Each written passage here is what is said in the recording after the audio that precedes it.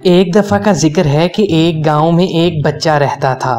अदील बहुत शरारती था और पढ़ाई में उसका बिल्कुल भी जी नहीं लगता था। हर वक्त शरारतें करना उसे बहुत पसंद था। इसी वजह से उसके घर वालों ने उसे पढ़ने से हटा लिया और भेड़ बकरियाँ चराने के लिए जंगल में भेजने लगे। कुछ दिन तो अदील को ये काम बहुत अच्छा लगा, क्योंकि वो हर वक्त खेल कूद कर सकता था। लेकिन आहिस्ता आहिस्ता वो बकरियाँ चराने से भी बोर हो गया। मज़ा लेने के लिए उसने एक तरकीब सोची और शोर मचाना शुरू कर दिया। बचाओ बचाओ, शेर आया शेर आया, शेर मेरी बकरियाँ खा गया। गाँव के लोग भागे भागे आए ताकि बच्चे और बकरियों को शेर से बचाएँ। लेकिन जैसे ही वो वहाँ पहुँचे, क्या देखते हैं कि बकरियाँ आराम से घास चल रही थीं और अदील खड़ा हंस रहा था और साथ साथ कह रहा था, उल्लू बनाया, बड़ा मज़ा आया।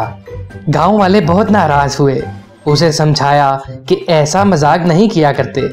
इस बात का असर कुछ दिन तो रहा, लेकिन एक दिन फिर उसे शरारत सूझी और वो फिर से चिल्लाने लगा।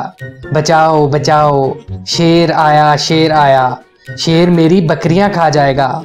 गाँव वाले दोबारा भागे आए, ताकि अदील और बकरियों को शेर से बचा सकें।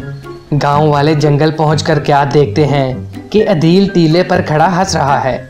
और बकरियाँ भी आराम से घास चल रही हैं। वहाँ फिर कोई शेर मौजूद नहीं है। गाँव वाले इस बात पर बहुत नाराज़ हुए और अदील को डांटा भी और खूब समझाया भी। इसके बाद गाँव वाले वापस अपने अपने घरों को लौट गए और फैसला किया कि आइंदा इसके चिल्लाने पर कोई इसकी मदद को नहीं जाएगा।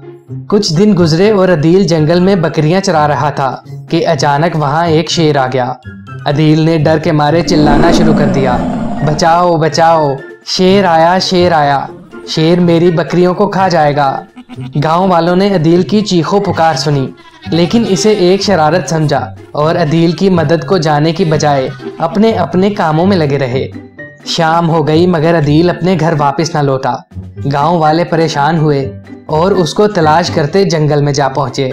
वहाँ वो क्या देखते हैं कि अदील टीले पर बैठा रो रहा है। गाँव वाले उसे पूछते हैं कि तुम घर क्यों नहीं लौटे?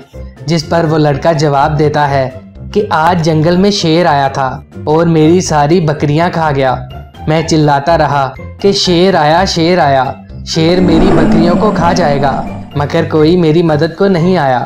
इस पर एक समझदार आदमी ने अदील को बताया कि लोग झूठ बोलने वालों पर कभी यकीन नहीं करते, चाहे वो सच ही क्यों ना बोल रहे हों। इसलिए कभी झूठ मत बोला करो, हमेशा सच बोला करो। दोस्तों, आपको भी हमेशा सच बोलना चाहिए और कभी भी झूठ नहीं बोलना चाहिए।